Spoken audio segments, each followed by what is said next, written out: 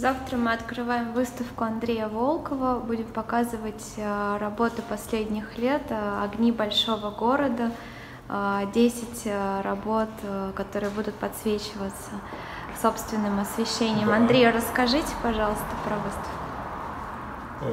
Ну, наверное, лучше посмотреть, конечно, чем лучше посмотреть, чем как бы рассказывать о ней. Но это как бы продукт долгой работы.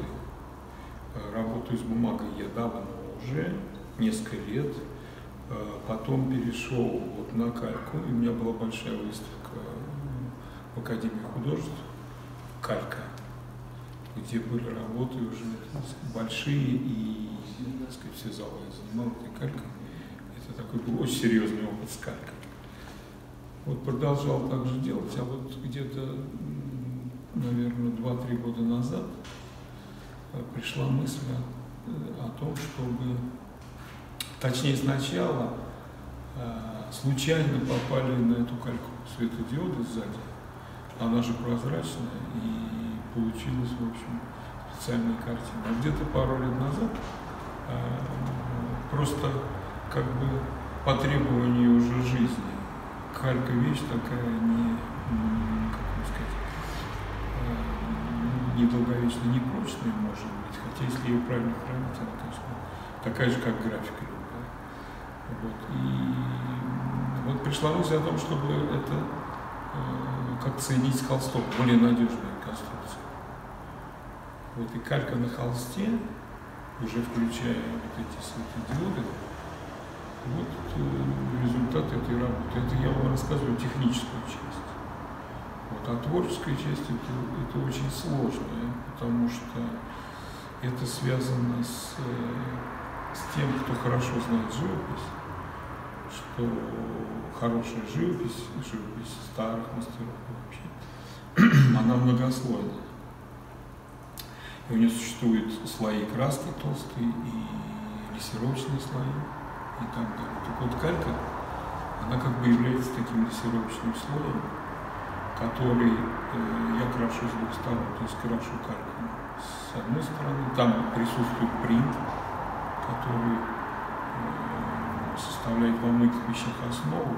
Но эти все вещи комбинированы, поэтому там целиком очень трудно найти какой-то там один способ. Но вот э, что-то подкрашивается с одной стороны, что-то подкрашивается с другой стороны. В итоге получается три слоя, то есть молочный вот этот э, полупрозрачный слой с одной карки, цвет, который э, лежит, и лак, который сверху, и цвет иногда пастозный, иногда тоже прозрачный, который э, снизу карки. И еще на некоторых вещах мы можем будет увидеть, что есть и подкраска самого. Вот, так что это вот эта многослойность. Вот. Только она, кстати, позволяет включить туда внутренний свет. Потому что у меня есть опыт и есть работа, но здесь их нет, предыдущих лет, где я пытался светодиоды установить на просто крашеную поверхность, на живопись. Но, к сожалению, вот они не соединяются, не воспринимаются. Потому что только светящийся материал вот этой, вот этой полупрозрачной прозрачной кальки, светящейся самой по себе, включает и другой свет. Вот соединение этих, этих светов, вот так что, вот, наверное, это вот, вот, вот такой синтез вот этих направлений. Я это называю смешанной техникой, помните, я говорил, ну, это уж совсем смешанная техника. То есть это даже смеш, смешение жанров, можно сказать. Поиски жанров, смешение жанров. А скажите в двух словах, про что эта выставка? Ну вот она, а с, с какой, ну, вот, как и любая выставка, наверное, художник пытается что-то такое отразить из своей жизни, э, какой-то личный опыт, который был у него, и какой-то э, кусок жизни, который он хорошо знает, и познакомить э, зрителей с этим. Я так думаю, я делаю только так. Что именно, может быть, вы задаете вопрос о самих сюжетах, так сказать, откуда они тоже в жизни, они на основе, э, там, где принт, это фото, это как бы фото. Тут очень важный момент, я забыл вам сказать. Калька в данном случае еще одновременно э, вся эта выставка связана с фотографией. Как бы фотография является ну, такой прародительницей этой моей кальки и вот этого всего. И имеется в виду, конечно, не цифровая, а настоящая фотография с желатиновым и серебряным желатиновым слоем. И вот этот слой э, кажется мне таким же ценным, как и слой любой вообще любой любой э, какой-то ну, традиционный и там исторической тонкой живописи. Не пастозной. Живопись, которая как бы из тюбика, э, мазки и прочее, прочее, э, меня не интересует и не устраивает. Это такая, как вам сказать, вот это вот перегруз красками, это не то. А вот какая-то живопись такая, знаете, наполненная изяществом, ну, немножко куда, века. Она очень, она очень сходна с именно материалом фотографии, который тоже сейчас нет, она тоже историческая, и она тоже закончила примерно э, к концу того века. Ее не существует. И вот я хочу вам показать, что можно.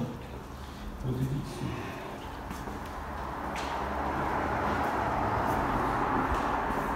Вот тут почти ничего не сделано. В этой работе она называется «Проявление пленки». Здесь почти ничего не сделано. Но понятно, что здесь есть э, где-то нагрузка уже по этой стороне фактур, все. Но это, в принципе, фото. Но это э, фото, это тот самый желатиновый слой, о котором я как бы пекусь и проявляю огромную заботу. И обратите внимание, что этот кадр бракован. То есть, когда происходило хранение или что-то, э, ну, самому этому кадру,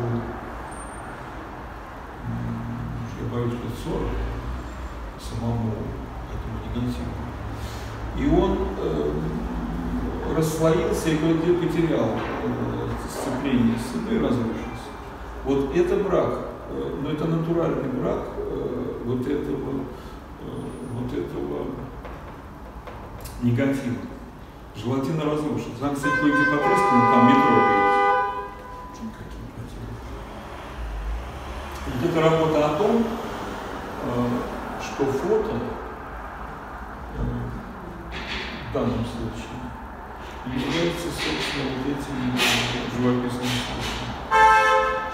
Но это, подчеркиваю, не связано с цифровой фотографией и вообще с новой цифровой культурой, которая э, как бы совершенно отдельная, и как бы они будут воспевать другие люди, найдутся поэты этой цифры, этих квадратиков, они уже есть. Там. Помните, Пузенков там с его вот этими с его пикселями. То есть это певцы вот этого э, нового электронного понимания. Я остаюсь все-таки приверженцем вот этой э, аналога, вот этой вот фотографии, несущей в себе собственный свет. Вот солнце подействует на серебро, дает такие результаты это специально сделанный кран. А вот а, красный это красный светодиод? Это как, бы, это как бы, да, нет, это диод там. Это как бы отражение вот этого процесса. Видите, висят пленки. Вот они как сушатся, вот они. Вот эти, так и было. Это одно мое мастерское. Mm. Еще в стародавние времена, это я где-то до первой половины 80-х это работал. Покровский бульвар, дом 14-5. Вот, вот это вот окна цвета были. И вот, э, э, вот хочу, чтобы все поняли, что не случайность кальки заключается в том, что это и есть это серебряный желательный слой. Это очень ценные вещи. Сейчас все эти пленки повыкидывали. А, ничего этого нет, было цифровое и так далее, и так далее. Но по существу это целая эпоха колоссальная просто выбрасывается. Колоссальная эпоха маленьких вот этих произведений, вот этих вот э, слоев, вот этих дрессировок. цены нет вообще. Ну вот я с ними работаю. Ну понятно, есть вещи там, например, вот зеленый там висит, синий вот это. Давайте посмотрим. Давайте посмотрим. Вот это вот, например, вещь, конечно, целая, кажущаяся, но она просто монтажно сделана из разных кусочков. Что-то подрисовано, что-то из каких-то кусков взято, что-то такое, вот эта имитация такая, вроде бы даже какой-то чуть не гиперреализм, на самом деле э, здесь все из, ну, другой принцип, из лата. Я же э, как бы все время пробую, все время как бы ищу, и вообще все это является поиском. Поэтому это так иногда выглядит странно, что это как бы не такая подробная и не, вроде бы как не фото. На самом деле фото есть здесь. Основа тут есть. То есть есть куски фотографий, ну, вы видите, да? А их Это можно назвать монтажностью. Но в целом э, ощущение состояния вот этого, этой зоны, как все страна, здесь это ощущение есть. И я считаю, что. Это, вот это вот работа Чипли, вот это и вот это. Вот это интересно тем, что э, как бы эта работа погибла. Когда горел манеж, мне не дали ее, она уже принадлежала мне, и она сгорела вместе с манежем, эта вещь. Но э, так сказать, чудо заключается в том, что пленка осталась. То есть, то есть кусочек этого целлулоида с этим слоем, э, кто-то делал репродукцию, я его напечатал, но эта вещь еще сложнее. В каком смысле? Здесь есть светодиоды, но вы их здесь, как сказать, вот здесь пробился один а, случайно. Вообще они там, просто он протерся, вылез. Они вот видите там за... Э, то есть там сзади тоже нет. Они между слоями. Это э, то, что я вам рассказывал, вот эта лессировка, здесь где-то сделано в два раза больше. То есть здесь э, покраска, как вам сказать, слой-слой, потом покрашена фактура там, вот этого неба, и потом еще раз э, напечатана карта, угу. совсем изящно тонкая, и сверху бы, соединена стоей.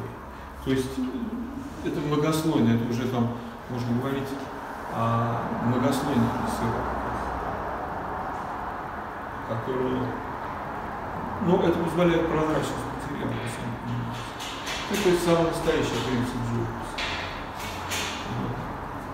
Ну, здесь понятно, да, здесь мне хотелось, вот это, это называется туман, э, как бы вот эта вот грубая фактура, мятый элементы, уходит э, в пространство.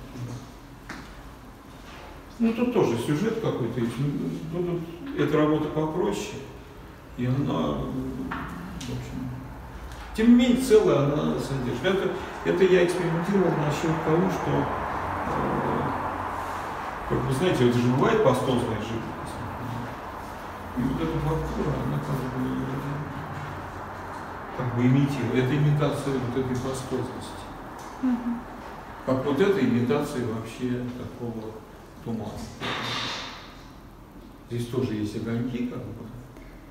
Но, но, это, но это калька без э, подсветки. Это калька без подсветки, да, но огоньки тут есть. Но мы немножко направим свет, чуть-чуть на нее. Это просто дырочки. Да. С, э, с, с той стороны покрашено вот видите. Это как бы воспоминание о стране, которой нет, это э, тогда что. Вот так что, ну вот, не знаю, что вам сейчас сказать. Да, действительно, вот это было хорошо. Катюша, спрашивайте.